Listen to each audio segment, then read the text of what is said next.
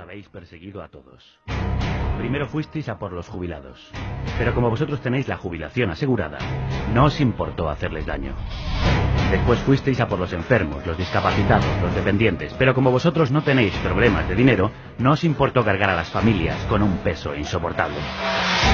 Entonces fuisteis a por los funcionarios, los médicos, los profesores. Fuisteis a por nuestra sanidad y nuestros colegios porque vosotros tenéis los vuestros asegurados. Protestamos y no os importó enviarnos a los antidisturbios a que nos hicieran más daño.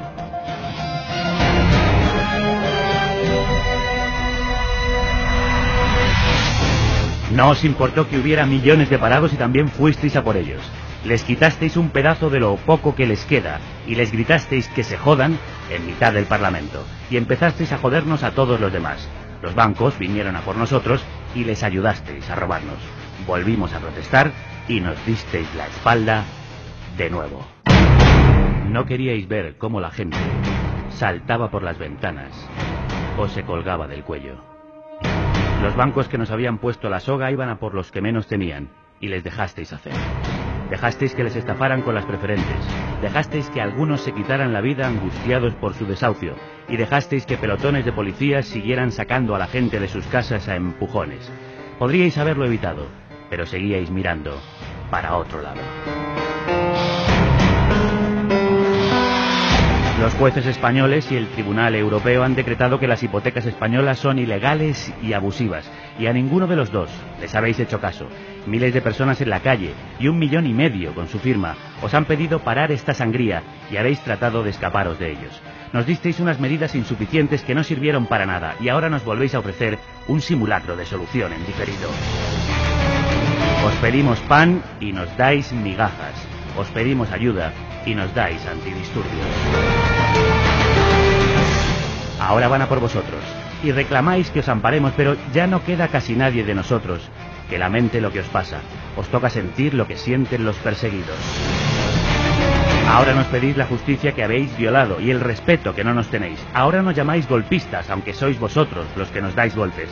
Hay que ser muy miserable para llamar acosador al acosado. Seguid así. Seguid llamándonos criminales en lugar de ciudadanos. Seguid aumentando la pobreza, la desigualdad y el paro. Seguid dejando que a la gente la estafen, la echen a la calle y los ladrones anden sueltos. Seguid haciendo un escrache masivo a la población y acabaréis sufriendo un escrache masivo y violento.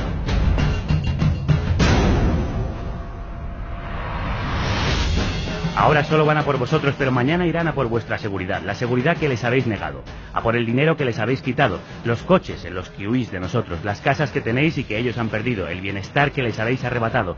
Querrán infligiros el mismo dolor que les habéis causado, y a nadie le importará si os hacen daño porque el daño que habréis hecho nos habrá anestesiado.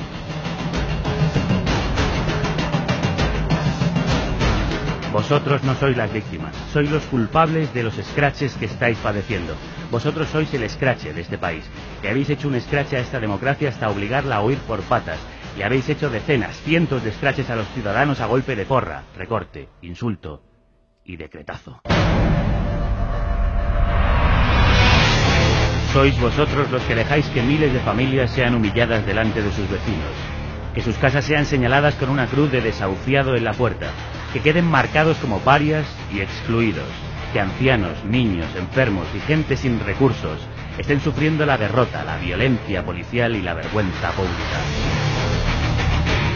Sois vosotros los que estáis empujando a miles de personas por un barranco por el que os acabarán arrastrando, los que estáis provocando una pobreza, un odio y una desesperación que puede terminar estallando.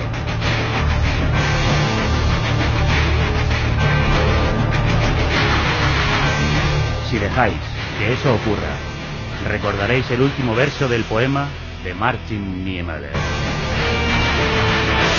Cuando vinieron a buscarme no había nadie más que pudiera protestar.